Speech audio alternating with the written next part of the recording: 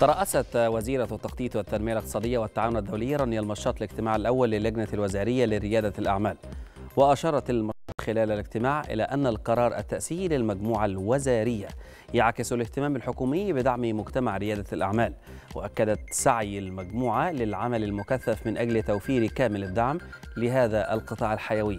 وتحقيق تطلعات مجتمع ريادة الأعمال بكافة عناصره من شركات ناشئة ومستثمرين وجهات داعمة وتوحيد للجهود في ظل تعدد المبادرات والبرامج التي تقوم بتنفيذها الجهات الوطنية لتنمية الابتكار وتوفير الدعم لتلك الشركات.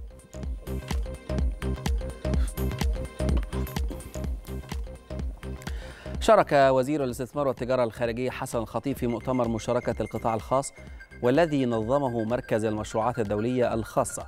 وقال وزير الاستثمار إن الحكومة تسعى إلى جذب المزيد من الاستثمارات وتعزيز دور القطاع الخاص كمحرك رئيسي للابتكار والنمو الاقتصادي.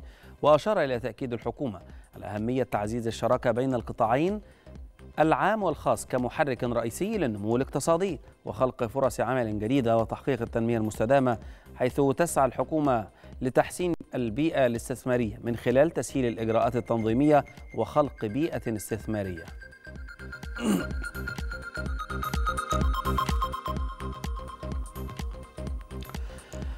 في سوق المال أنهت البورصة المصرية تعاملات جلسة اليوم بارتفاع جماعي للمؤشرات مدفوعة بعمليات الشراء من المتعاملين المصريين.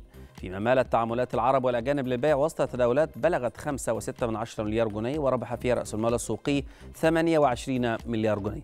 أما على صعيد المؤشرات فقد ارتفع مؤشر EGX 30 بنسبة 31 من 100% ليغلق عند مستوى 31819 نقطة.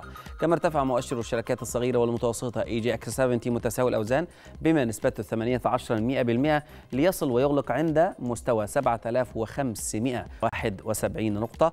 وصعد مؤشر EGX 100 متساوي الأوزان بنسبة 41% ليغلق عند مستوى 10828 نقطة.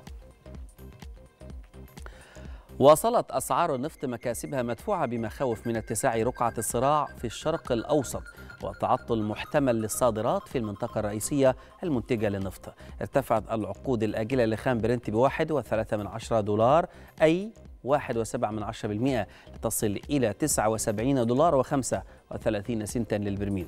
وقفزت العقود الأجلة لخام غرب تكساس الوسيط الأمريكي 1.4 دولار أو 1.9% ل 75 دولار و78 سنتا للبرميل.